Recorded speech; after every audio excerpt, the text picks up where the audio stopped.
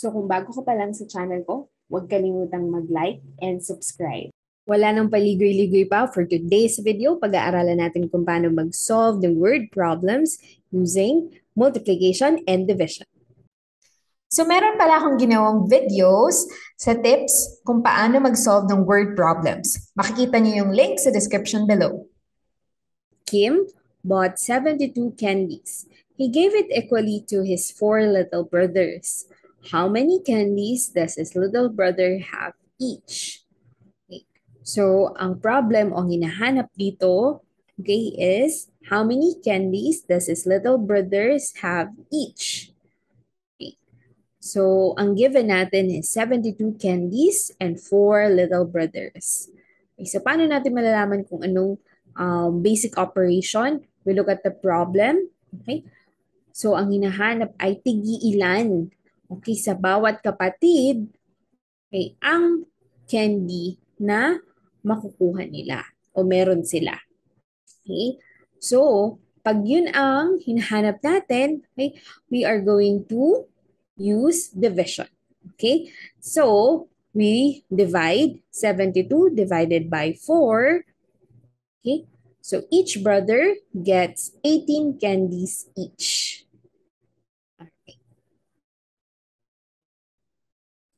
Another example. Okay, so John earns 800 pesos a day by selling milk tea.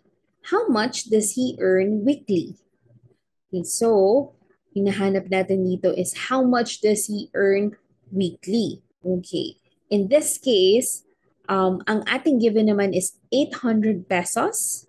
Okay, and dahil weekly yung hinahanap natin, okay, one week is equivalent to 7 days. Okay. And he earns 800 pesos a day. Right? So, ang given natin is 800 pesos in 7 days. Representing yung isang buong linggo. Okay? So, 800 times 7 is equal to 5,600. So, John earns 5,600 pesos weekly. Okay, so next problem. Tom sent an equal number of letters each day for one week. At the end of the week, she sent a total of 147 letters. How many letters did she send each day? Okay, so ang hinahanap natin is how many letters did she send for each day? O ilang letters ang um, pinadala niya sa bawat araw sa buong linggo. Okay. So, ibababa natin yung ating mga given. So, we have 147 letters. And again, because we're talking about um, a week event, okay? So, ilang araw ba yung meron sa isang linggo? We have 7 days. Okay, so, ang given natin is 147 letters and 7 days. Okay, at ang gagamitin nating operation is division. Okay. Because hinahanap natin ay kung ilang letters ang pinadala niya sa bawat araw okay, ng buong linggo. Okay? So, 147 divided by 7 is equivalent to 21 letters.